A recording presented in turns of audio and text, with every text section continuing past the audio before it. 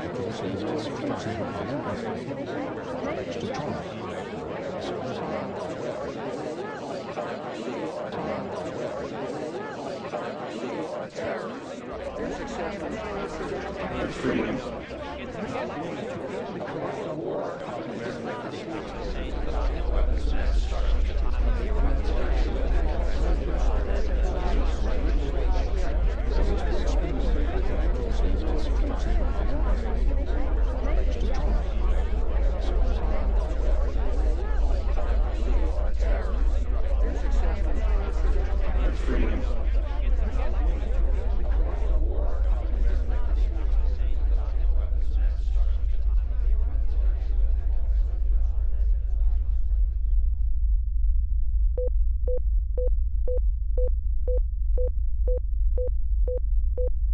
Is it a good thing or a bad thing that it's becoming harder, maybe impossible, to encapsulate information in discrete units and sell them? The simplistic answer, the answer that you get from Hollywood and the recording industry, is it's a disaster. This is not a film about piracy. The recording industry's been freaked out. The movie industry's been freaked out. The suits don't know how to think about this. This is not a film about sharing files.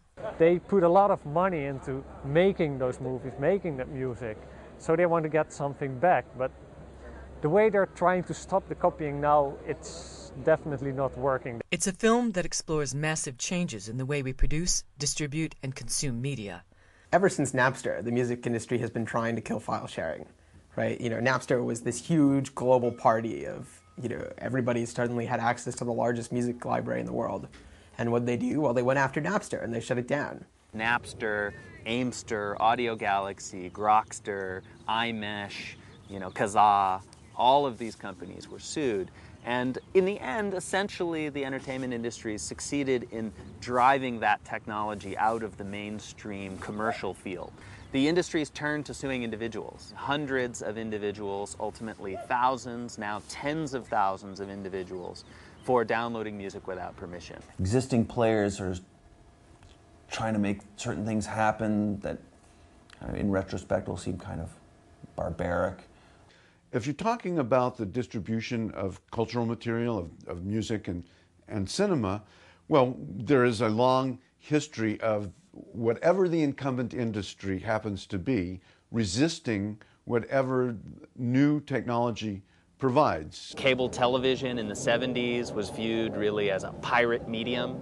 All the television networks felt that taking their content and putting it on cables that ran to people's houses was piracy, pure and simple. The uh, video recorder was very strongly resisted by Hollywood. There were lawsuits immediately brought by the movie studios who felt, in fact, who said publicly that the VCR was to the American movie industry what the Boston Strangler was to a woman alone. New information technologies provide Hollywood and the recording industries with fresh channels on which to sell products. But they can also open unplanned possibilities for their consumers.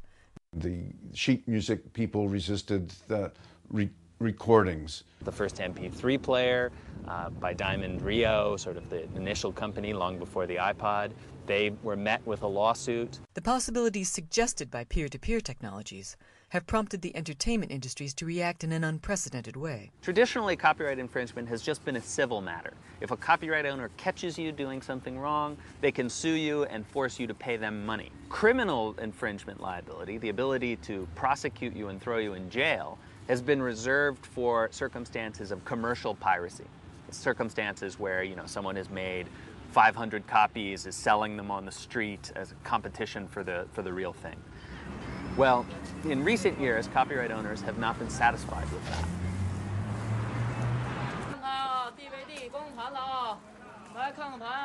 They have wanted to reach out and be, uh, have criminal uh, recourse against people who are engaged in non-commercial activities.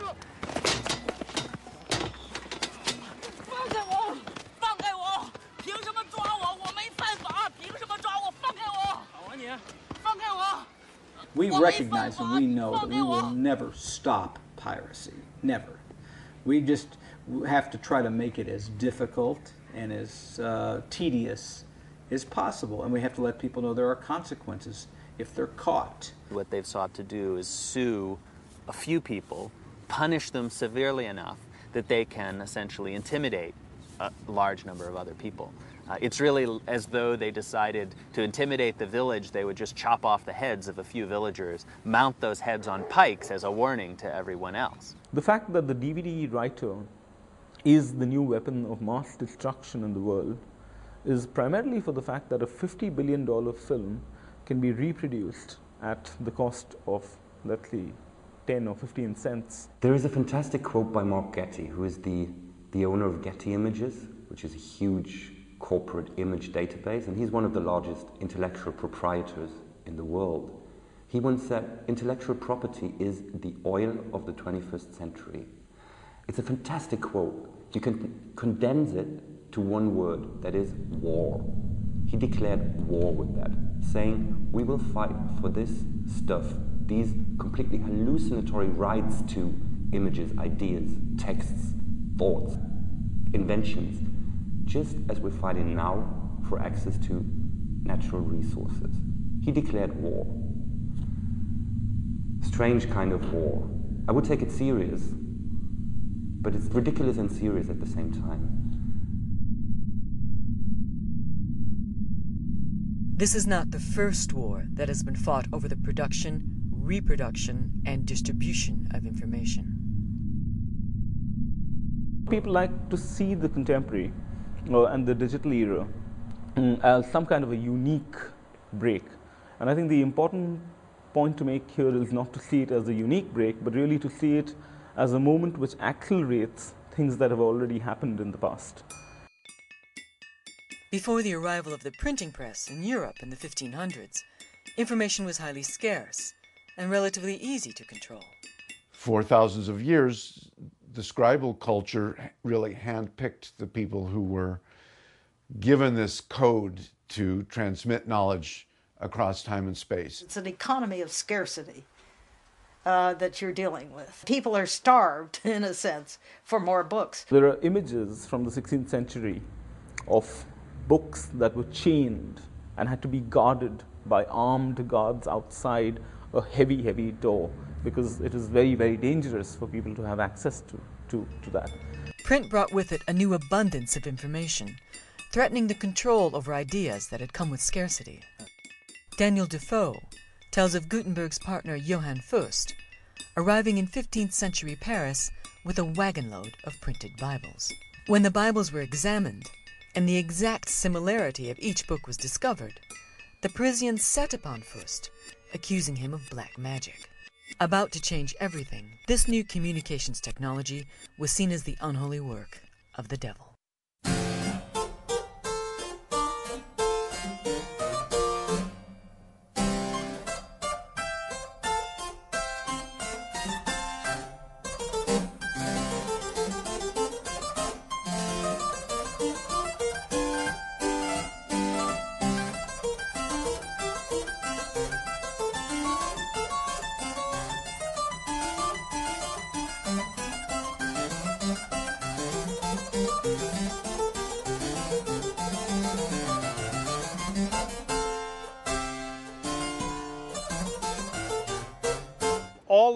Emerging nation states of, of Europe uh, made it very clear that they would control information flows to the best of their ability. The printers were the ones who were hunted down uh, if they printed the forbidden text.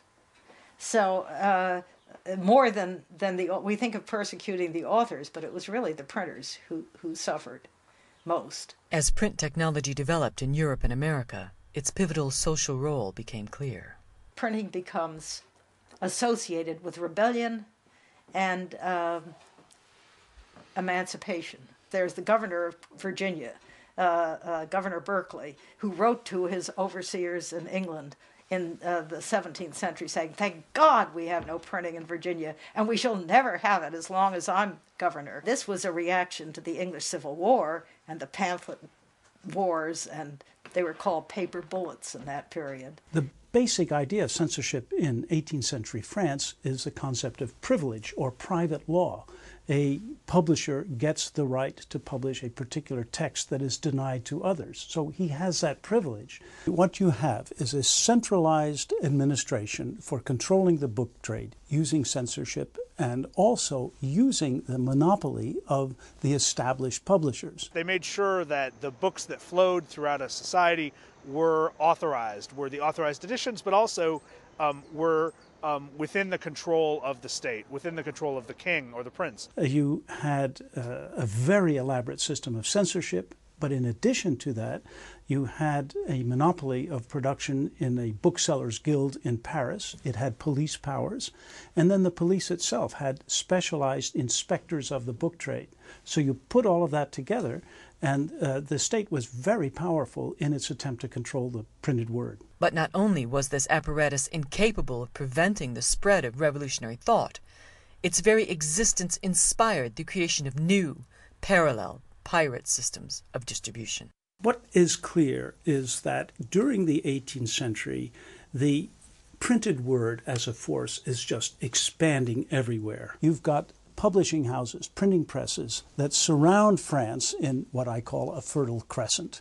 Uh, dozens and dozens of them producing books which are smuggled across the French borders, distributed everywhere in the kingdom by an underground system. I have a case of one Dutch printer who looked at the index of prohibited books and used it uh, for his publication program because he knew these were titles that would sell well. The pirates had agents in Paris and everywhere else who are sending them sheets of new books which they think will sell well.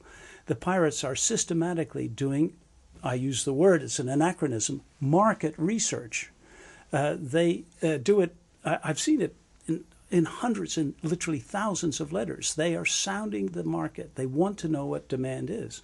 And so the reaction on the part of the publishers at the center is, of course, extremely hostile. And uh, I've read a lot of their letters. They're full of expressions like buccaneer and private and, uh, you know, people without shame or morality, etc. In actual fact, many of these pirates were good bourgeois in Lausanne or Geneva or Amsterdam, and they thought that they were just doing business. After all, there was no international copyright law and they were satisfying demand. There were printers that were almost holes in the wall or down in the. If they were printing uh, uh, subversive material, they could sort of hide their presses very quickly. People used to put them on rafts and float down to another town if they were in trouble with the authorities. It was very movable. In effect, you've got two systems at war with one another, and it's the system of production outside France that is crucial for the Enlightenment. Not only did this new media system spread the Enlightenment, but I won't use the word prepared the way for the revolution. It so um, indicted the old regime that this this power, public opinion, became crucial in the collapse of the government in 1787 1788. In Paris, the Bastille had been a prison for pirates. But in the years before the revolution, the authorities gave up trying to imprison pirates. The flow of ideas and information was too strong to be stemmed.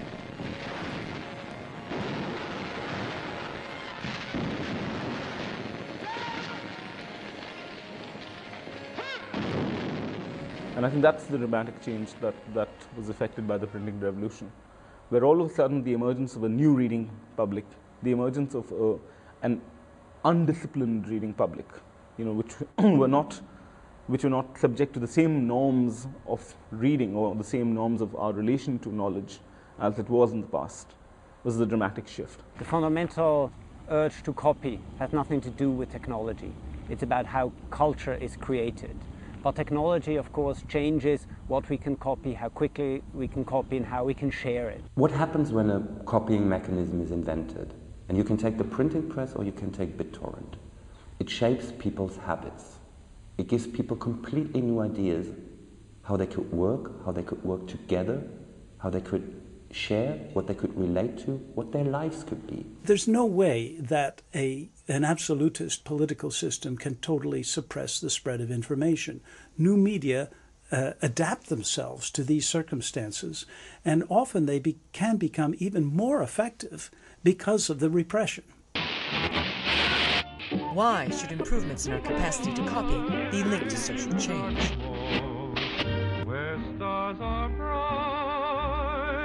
Because communicating, so fundamental to what we do in the world, is itself an act of copying. The one technique that brought us to where we are is copying.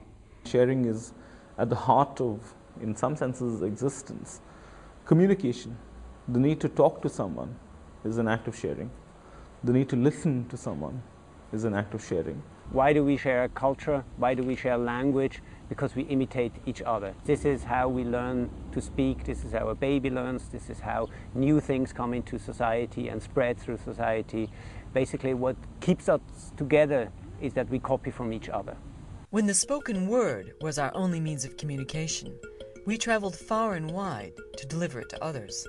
Later, as we began to communicate in written form, armies of scribes multiplied our ideas. Our urge to communicate is so strong that we have always pushed the tools available to us to the limit, then gone beyond them, creating new technologies that reproduce our ideas on previously unimaginable scales.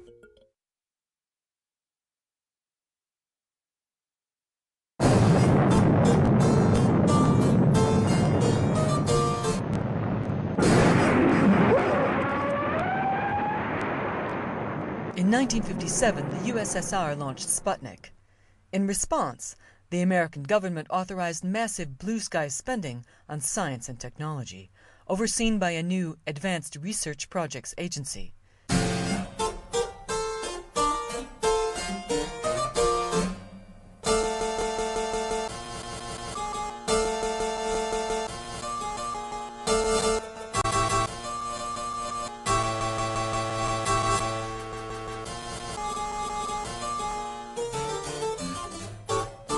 Was ARPA, developing the ideas of visionary computer scientist Joseph Licklider, that came up with the concept of networking computers. It's been hard to uh, share information for years.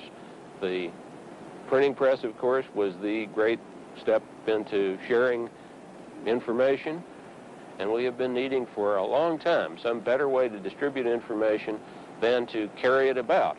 The print on paper form is uh, embarrassing because in order to distribute it, you've got to move the paper around, and lots of paper gets to be bulky and heavy and expensive to move about. The ARPANET was designed to allow scientists to share computer resources in order to improve innovation.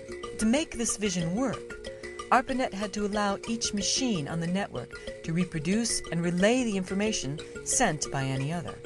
A network in which peers shared resources equally was part of a massive shift from the corporate and commercial communication systems of the past, in which messages radiated from a central point or down through a hierarchy. There was no center, and no machine was more important than another.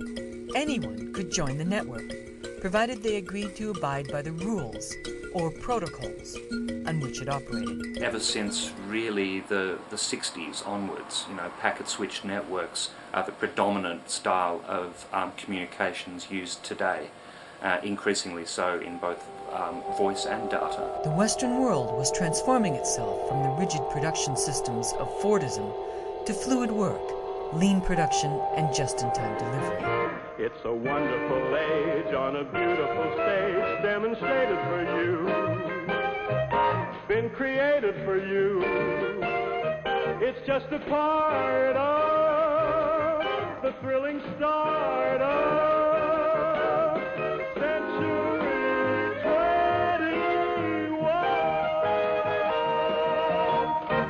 post-centralized, friction-free economy needed a communications system just like this. We didn't build in the 1970s networks of hierarchs.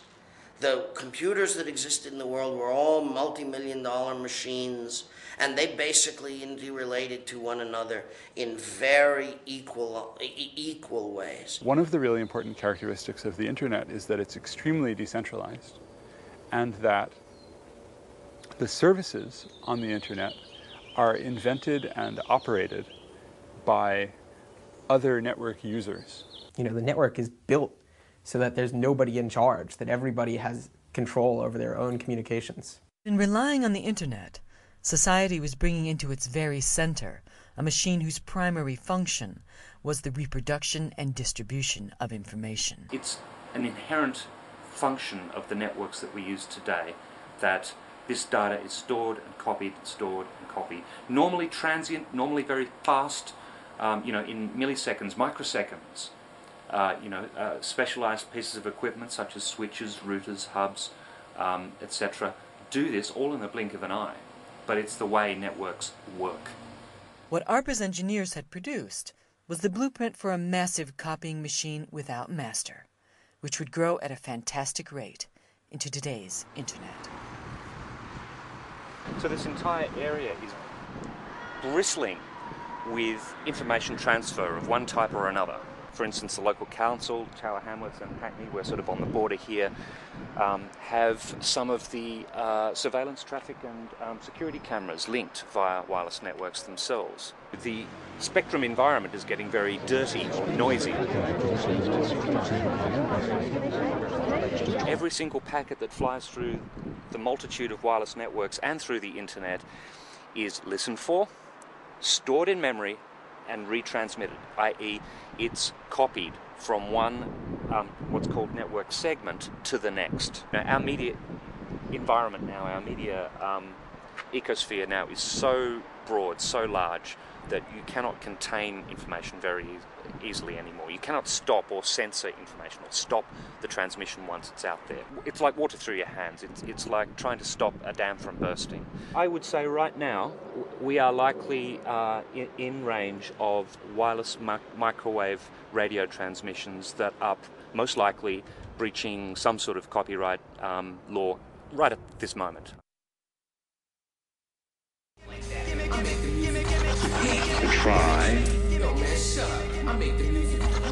in the back of modernism and all this international law to make profit out of his own ungenerosity to humankind. One of the main battlegrounds in law, in technology now, is the extent to which um, it is possible to exclude people from information, knowledge, and cultural goods. The extent to which it's possible to enclose a bit, if you will, of culture and say, it's in a container, you have to pay me in order to access it.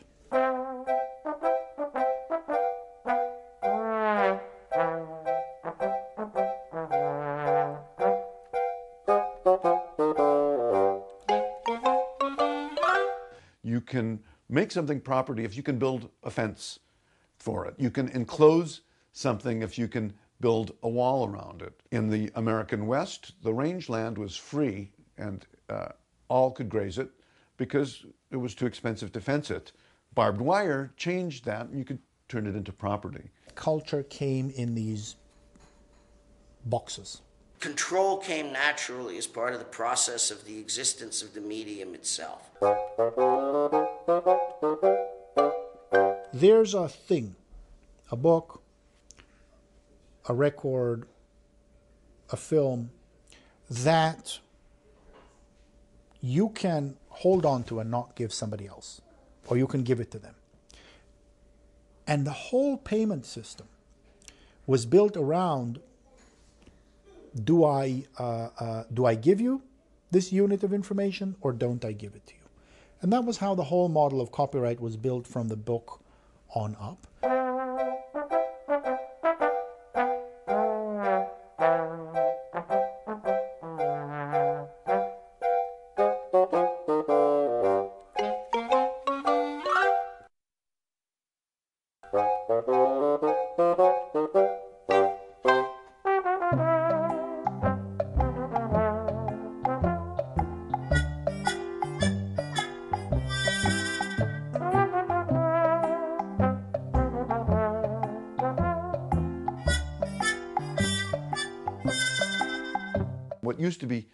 Property, um, music, um, uh, cinema, now becomes very, very uh, easy to transmit across barriers. We have today the ability to make copies and distribute copies inexpensively. If one copy leaks out on the internet, very rapidly it's available to everyone.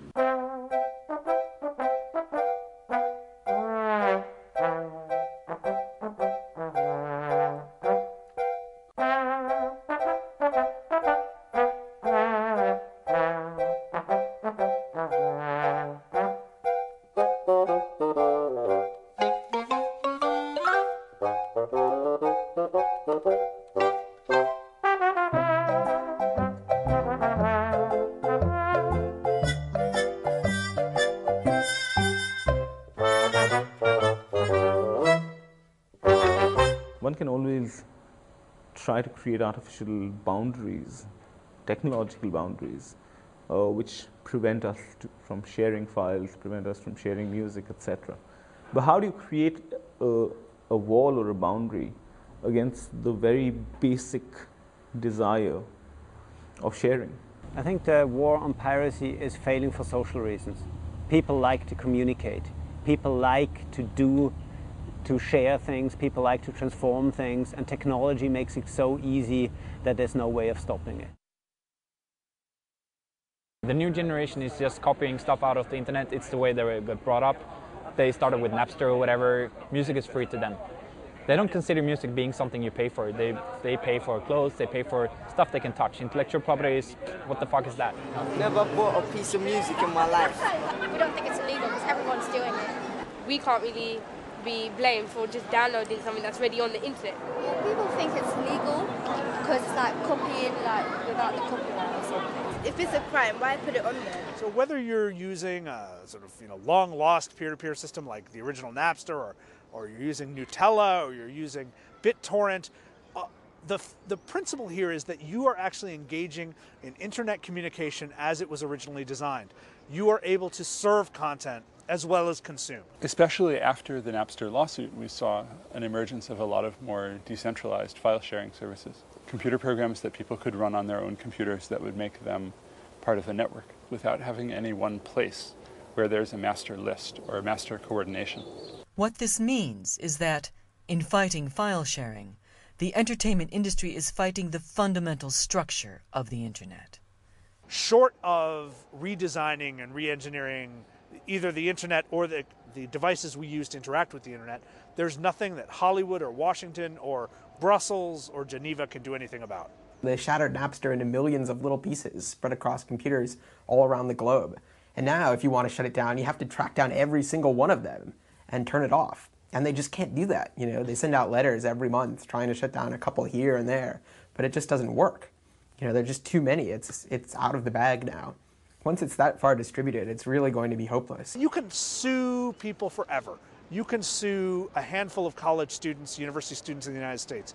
You can sue the investors of Napster in, in, Napster. You can sue the company that that provided the software for Kazaa, but it doesn't shut anything down. We recognize and we know that we will never stop piracy. Kazaa lost a big case in the United States in Supreme Court in the Supreme Court. Um, uh, Kazaa and Grokster and a, a set of other companies. So those companies no longer operate, but the network still works. In other words, the the interface is still installed on millions of computers and people still use them. Never stop piracy. The music industry, if they want to stop file sharing, there's no central computer for them to go to and shut it down. They have to go all the way to the ends of every wire. They have to snip all the cords across the globe. So when the Pirate Bay got shut down last year and during the raid, uh, Amsterdam Information Exchange, AMSIX, uh, reported that 35% of all the European internet traffic uh, just vanished in a couple of hours. The files have been shared. There's no way back. You can't, you, it's not about shutting down BitTorrent. It would be about confiscating everyone's hard drives. The files are out there. They have been downloaded. They're down. There's no up anymore. They're all down. Never, never, never. You know, there's nobody you can go to and say, shut down the file sharing. The internet's just not built that way. We're surrounded by images every day, everywhere. There's nothing you can do about it. But the problem with these images is that they're not yours. People's lives are determined by images that they have no rights to whatsoever. And that's a, let's say it's a very unfortunate situation. There's this work of mine that people have described as a series of unattainable women.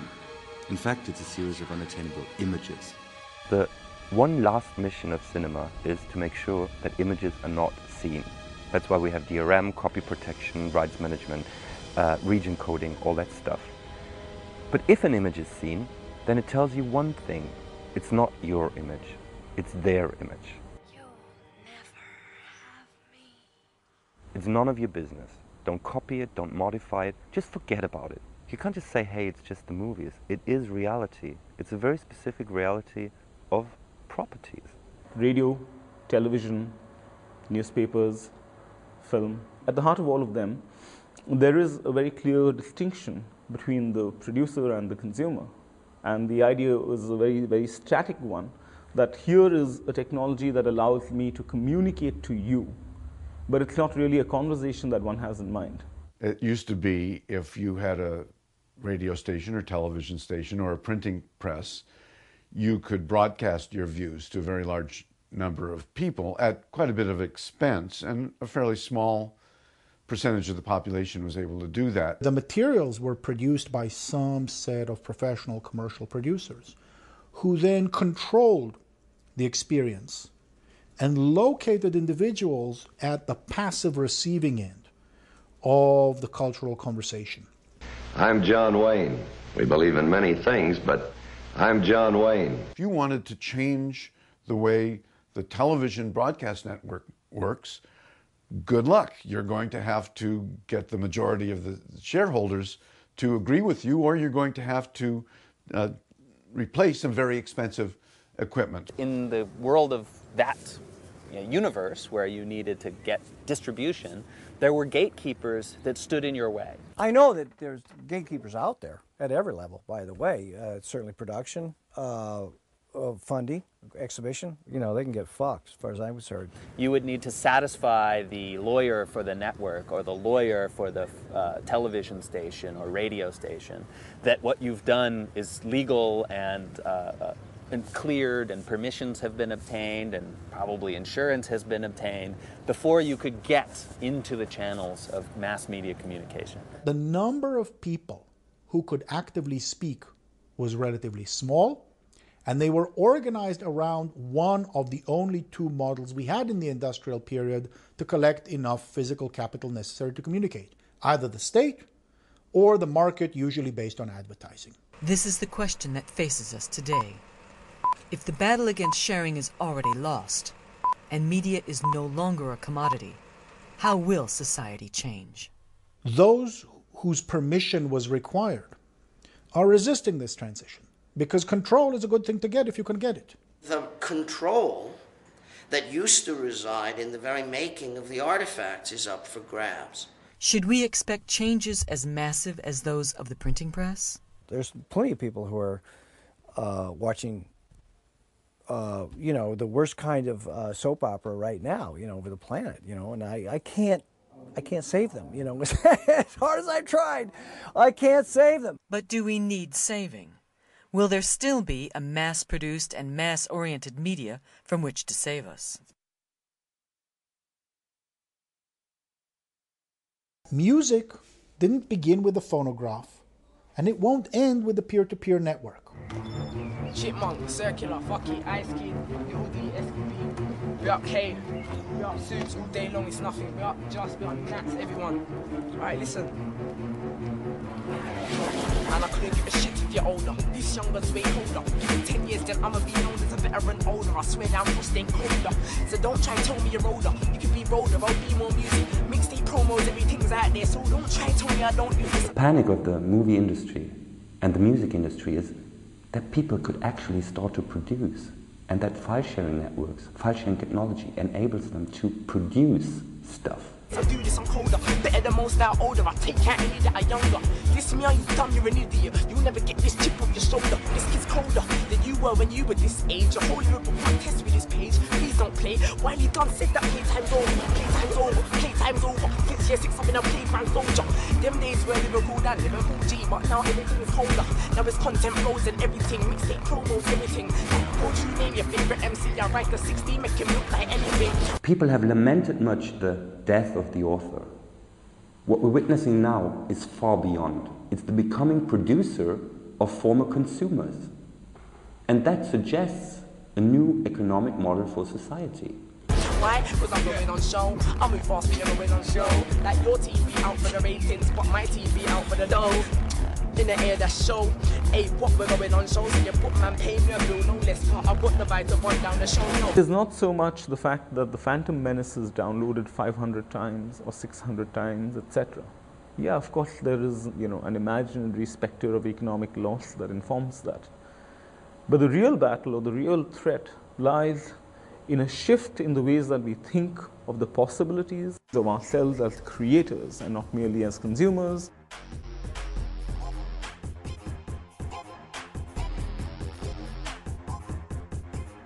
It's like a whole network.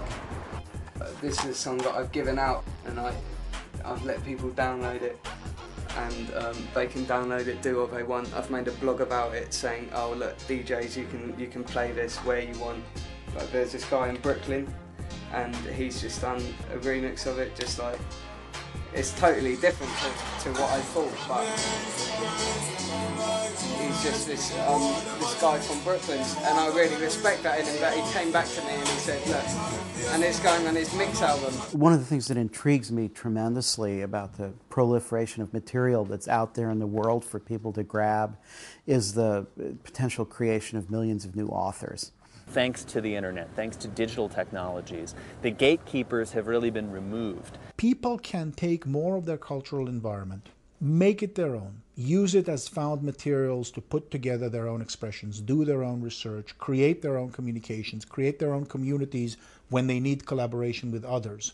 Rather than relying on a limited set of existing institutions or on a set of materials that they're not allowed to use without going and ask and asking, please, may I use this? Please, may I create? Basically, in terms of samples, not not many people go out of their way to clear samples. Alright then, right about now, like I've got the things on the fruity slicer, like it's on different keys, so it's just different parts of the sample. Like this is just some Turkish tune I don't even know who's by. Like it's just some random sample.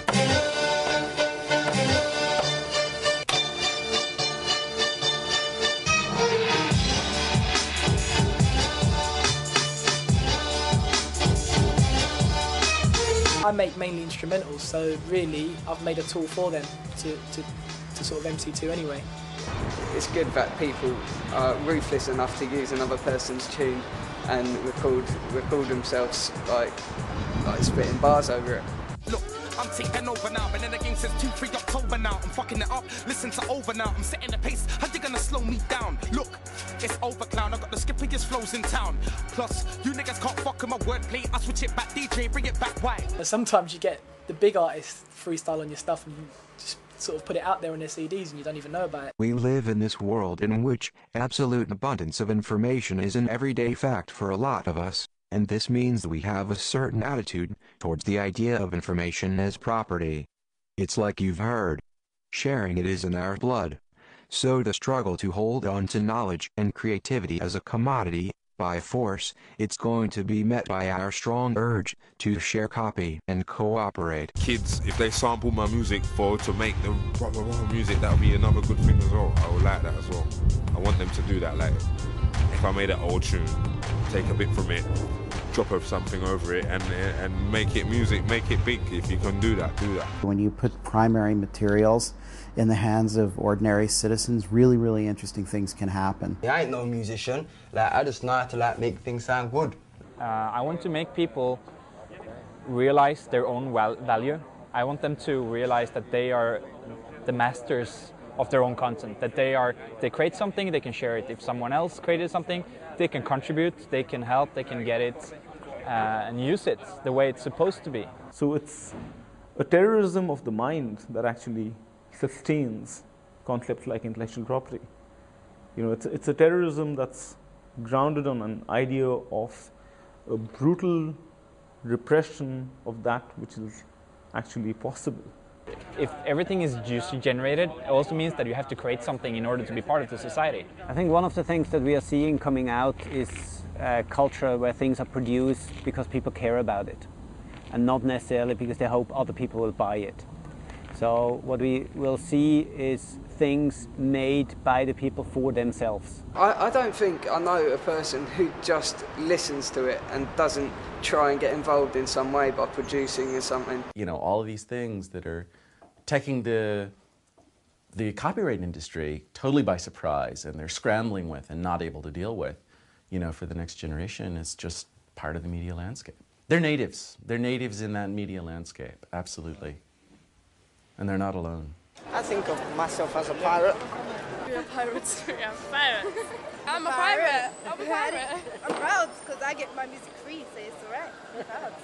I think we need to have a broad conversation. That's probably going to be an international conversation where people who make things and people who use things, I'm talking about cultural works, uh, sit together and think about what kinds of um, uh, rules best serve uh, these interests. I don't know that we're going to agree, um, but I think we need to ask a little bit more about utopia. We need to really figure out what kind of a world we'd like to live in and then try to craft regulations to match that. Being reactive doesn't cut it. The future isn't clear for sure, but that's why we're here. We're trying to form the future. We're trying to make it the way we want it, but obviously most people want it to be.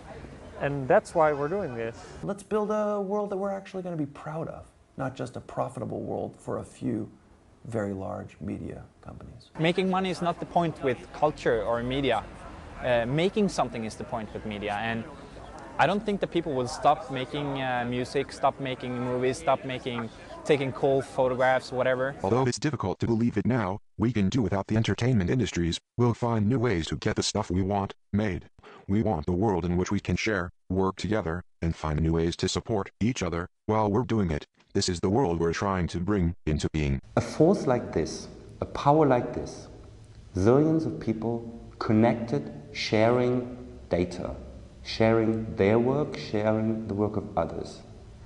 This situation is unprecedented in, in human history, and it is a force that will not be stopped. People always ask us, who are the League of Noble Peers? And we tell them, you are, I am, even your bank manager is. That's why I'm a vague blur. It's kind of like, insert yourself here.